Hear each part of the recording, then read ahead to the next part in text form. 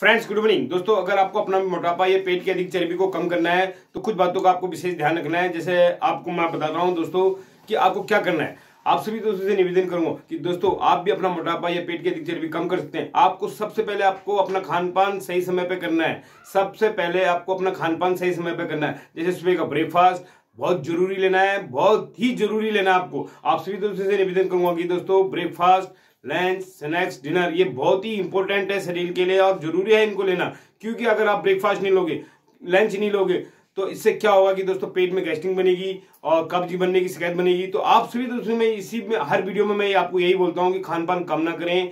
आप अपनी भूख के हिसाब से, अपने वज़न के हिसाब से, अपनी उम्र के हिसाब से खान पान ज़रूर करना आपको दोस्तों, तभी मोटापा कम होगा। मोटापा तभी कम होगा, सबसे पहले अपने खान को सही बैलेंस बनाए अगर आप ब्रेकफास्ट नहीं करते हैं। और अगर लंच करते हैं तो दोस्तों, इससे क्या होगा कि गैस्टिंग बनेगी और कब्ज बनने की शिकायत बनी रहेगी या डिनर आप लेट नाइट करते हो तो आप सभी दोस्तों से निवेदन करूँगा, स्वस्थ रहें, मस्त रहें।